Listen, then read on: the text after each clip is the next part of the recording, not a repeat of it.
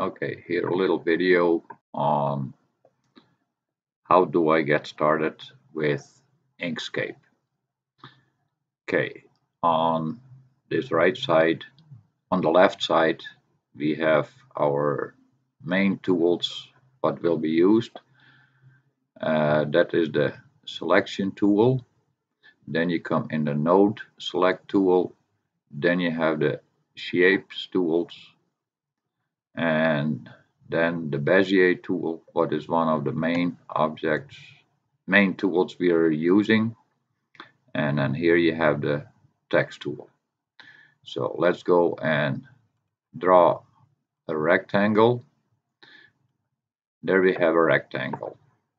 Now, for each shape or for each tool, as soon as it is selected, then here on top there are options.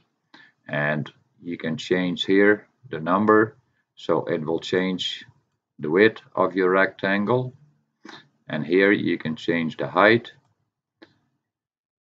And it will change the height. So if you have a specific measurement then you can just punch in the measurement you want. And there. Let's say we're gonna make that 40 and press enter and there you have it to that specific size you need. Then here the RX we can increase that and we will see the corners are starting to round. So you can change that one and this one you get the R, the Y value changed. So if you put it to zero, and that one to zero, then you have a perfect square. What you can also do is, as you can see, this corner it's got a square, this corner it is a circle.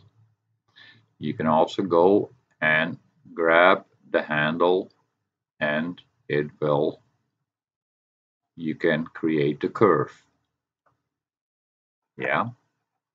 Then each object if you want to give it a fill color you can go here to the bottom screen. You can as your object is selected you can just click on the color and it will change the fill color.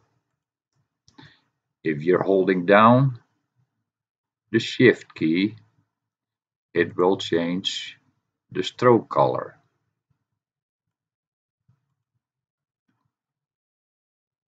As easy as that. So the shift key will do the stroke and just click on a color and it will change the fill.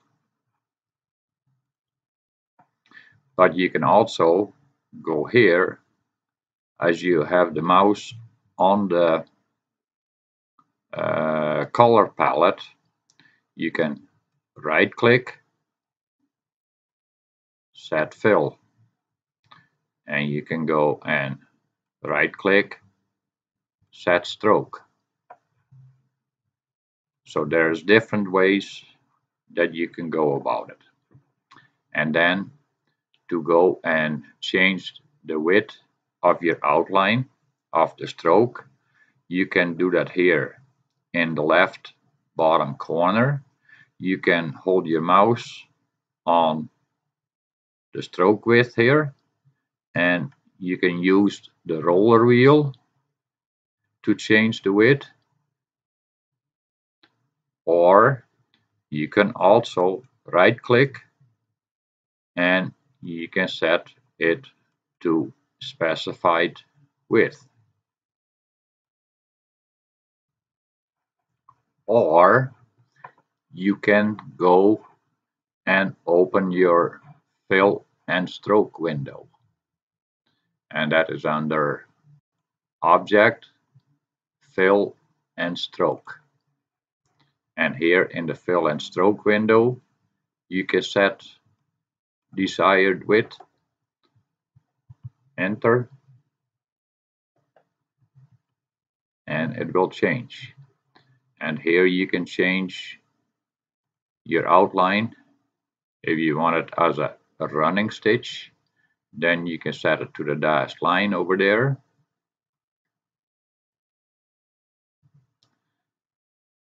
and for the fill this is the first one is no fill then it is a solid fill and then you get a linear gradient radial gradient mesh gradient. And these two buttons uh, keep those in mind too the fill is solid unless the subpath is counter directional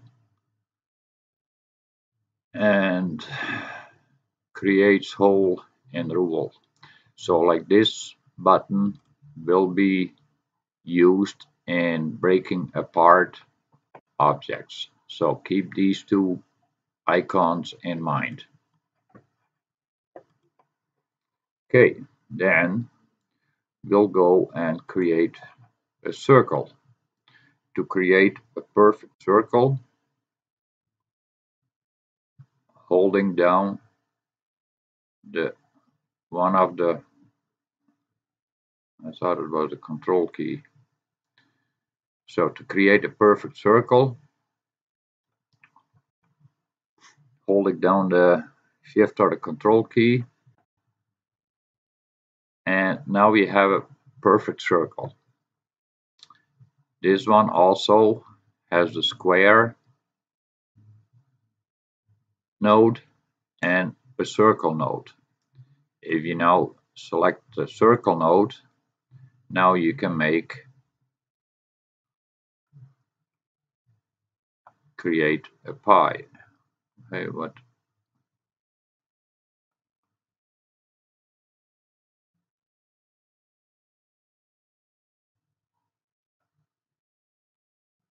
And you can change it and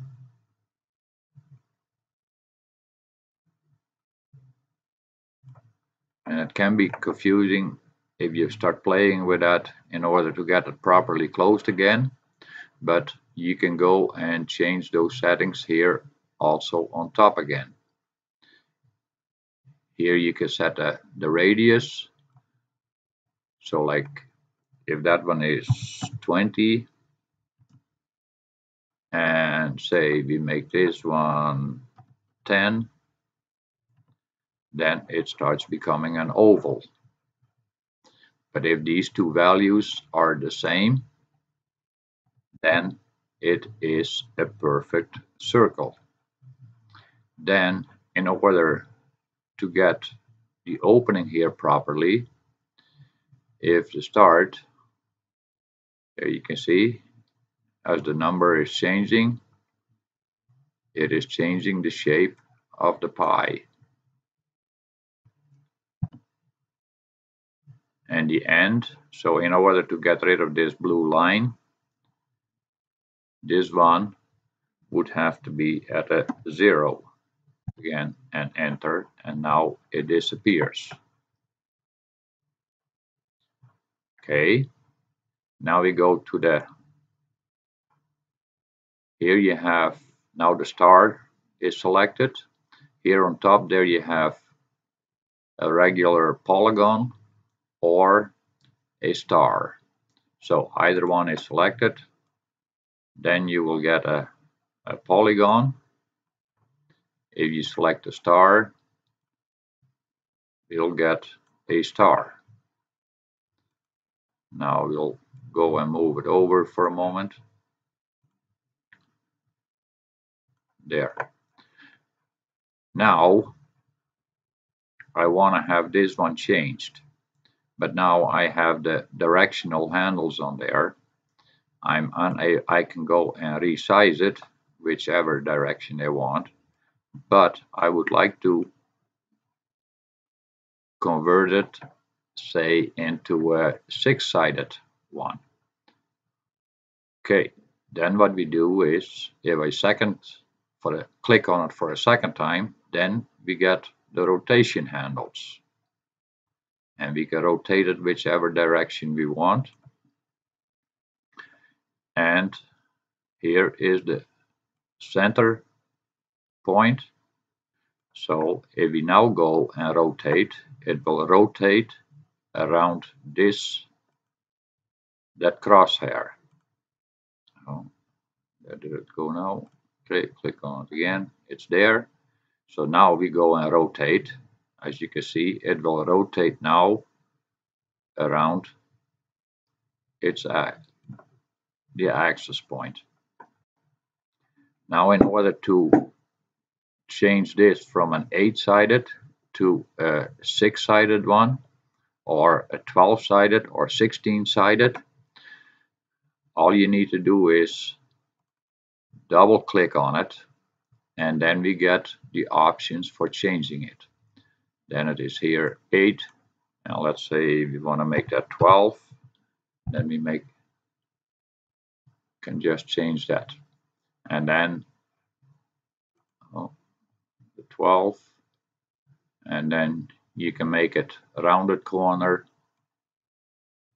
As you can see you can you can make make all kinds of different shapes with it. It just takes a little bit of playing around with it. Make that zero and we'll make that zero two again. So there you have, press enter and there you have a 12 sided uh, polygon. Then that and that is the same for the star. If you want to have say we were in the selection tool. Now the star got selected. If we want to change it then what we can do here is double click and we can change it to a six pointed star. The spoke ratio we can change so that will make it sharper or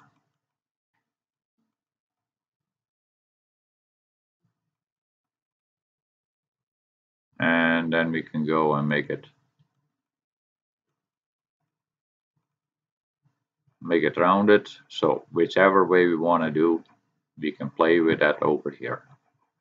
And the same with changing the the colors. All you need to do is right click on your color set fill and oh, right click set stroke and then you can go and you can set here you it, and there you have a bunch of these changes. And okay. That's it for now. And hopefully this can help you out with understanding some of the basics. Thank you for watching